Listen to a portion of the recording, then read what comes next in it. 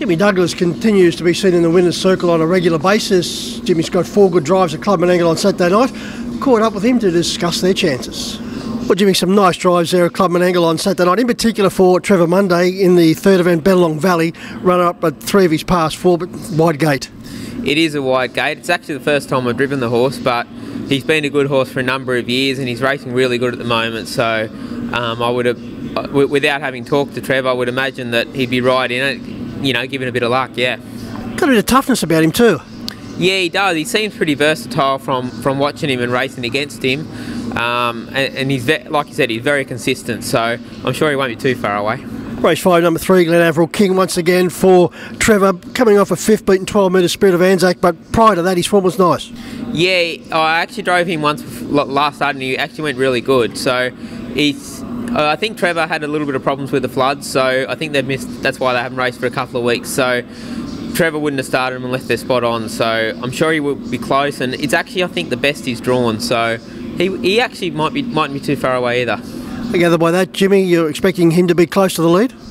Yeah, he, he, he, actually sprinted really. He had no luck last start when he ran fifth, and he still sprinted really good off the track, and everything else got up the pegs. So um, he gave me a pretty good feel, and, and you know he probably he's probably the kind of horse that needs the right run. But if he gets the right run, I'm sure he'll be pretty close.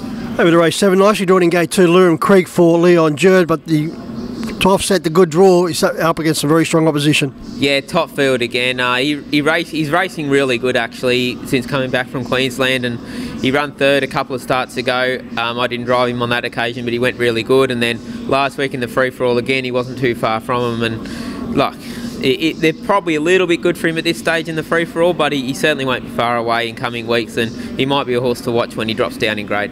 Yeah, I think Leon will find a nice race for this fellow, and we should, as you mentioned, should be on him. For sure, just, just yeah, like, like, you said, probably in the free for all, they're a little bit good for him to be sort of a winning chance. He, he's still a chance of earning money, but um, when he drops down in that, that condition race or that second level, he's definitely he's definitely one to maybe follow at good odds a nice cosy peg run by Jimmy Douglass could help him fall into one of those exotic spots.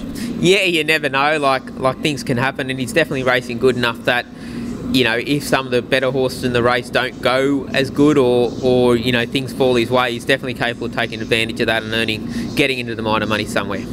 Over to race eight, the very talented mare trained by Peter Hanson, Total Diva now hasn't won since March when driven by Jimmy Douglass. Yeah, and she actually beat Wainui Creek on that occasion, so Wainui Creek's proven that form, you know, being a top class mare. So I actually think Total D was racing really, really good. It's been a few starts since I drove her, but even last week she's she's been coming from bad draws and having no luck, and she runs great sectionals every week. And um, again, she's drawn out wide, but it's you know she's definitely competitive with those horses. You know, given a, again given a little bit of luck, but she's certainly good enough to win a race like that.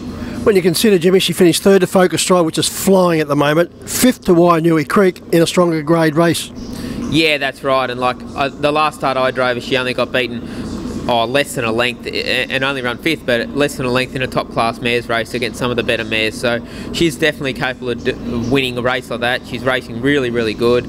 She just needs a little bit to go her way, but again, she, she can make her own luck a little bit more than some, but she does need luck from that wide gate this week. I was going to ask you that, Jimmy. She doesn't mind doing it tough. Do you see yourself going forward with her, or do you just see how the opening stages play out? Yeah, we've sort of got to play it by ear a little bit. Like she can do things, but but within reason. You know, I, I suppose that's the case with most horses, but she, she, she can sprint and she can do a little bit of work if needed probably can't burn through out, but not many can. So just from the Y gate, it does make it a little bit tricky, but hopefully things work out and, and she'll be pretty close. I gather, Jimmy, you're pretty keen on a couple of those drives. Yeah, like I like the two of Trevor's are obviously they're thereabouts and, and just need things to go their way, and so does Total Diva. But um, yeah, like they're, they're definitely they all need things to go their way, but if they get it, they won't be far away. I don't think.